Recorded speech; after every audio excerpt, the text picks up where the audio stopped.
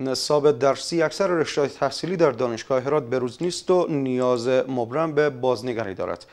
یافته های یک نظرسنجی که از سوی استادان دانشگاه روزنامه نگاری دانشگاه هرات صورت گرفته نشان می‌دهد که بسیاری از مزامینی که در مقطع لسانس تدریس می شود کهنه شده و مطابق به نیازمندی دانشجویان نیست.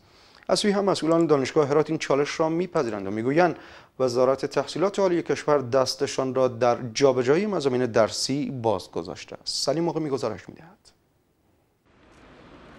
تدریس نصاب تحصیلی فرسوده در هرات چالشی که دانشجویان را از آموختن علوم نوین دنیا عقب نگه داشته است.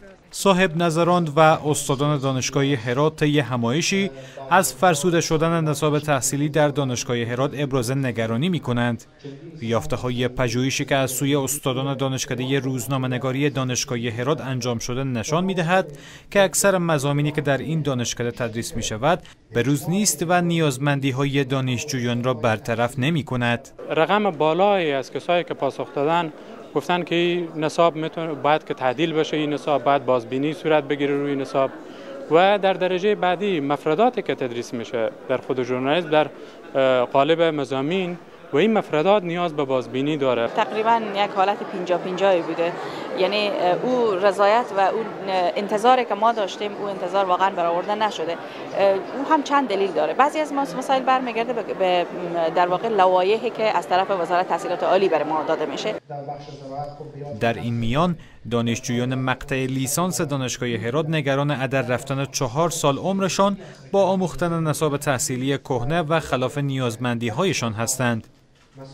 این دانشجویان تاکید دارند اگر نصاب تحصیلی و مزامینی که در دانشکده های مختلف این نهاد علمی تدریس می شود مورد بازنگری و بروز رسانی قرار نگیرد سطح دانش و علمیت دانشجویان ارتقا نمی کند و دانشجویان بعد از ختم دوره تحصیلیشان جذب بازار کار نخواهند شد. بیشترا سر جنبه های از او تمرکز بشه جنبه های عملی از او کار کرده باشه با دانشجویان تا بتونن به مراتب زمینه های شغلی بهتری در آینده داشته باشند و همچنان با صرف هزینه وقتی که متحمل میشن خود دانشجویان و استادان حداقل مفید باشه. چپترهایی که در سودا میشه و کتابان نصاب تحصیلی که است قدیمیه و بیشتر استادایی که سر صف میآیند چپترهای در سودا میشه درسهای در سودا میشه که از سالهای از 10 سال و 20 سال گذشته.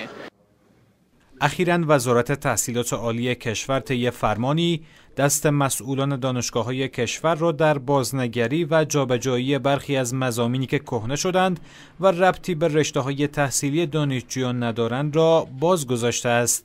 مسئولان دانشگاه هرات از روند ایجاد تغییرات در نصاب درسی استقبال می کنند و تاکید دارند اگر دانش آموختگان با مهارت‌های بهتری فارغ شوند زمینه کار برایشان مهیا می شود بازنگری یعنی آزادی در تغییر. ما ما 100 فیصد آزاد هستیم. ما در بحث مسائل بازنگری ها ما یک تعداد مزامین را حذف می‌کنیم یک تعداد مزامین اضافه می‌کنیم. بعضی دپارتمنت ها با همدیگر متقم می‌سازیم. بعضی دپارتمنت ها با دو دپارتمنت جداگانه تقسیم می‌سازیم. در سالهای پسین بحث بازنگری نصاب تحصیلی در دانشگاه هرات همواره در آجندای مسئولان این نهاد علمی قرار داشته است. اما با گذشت چند سال تا هنوز تغییر چندانی در سیستم آموزشی دانشگاه هرات وارد نشده است.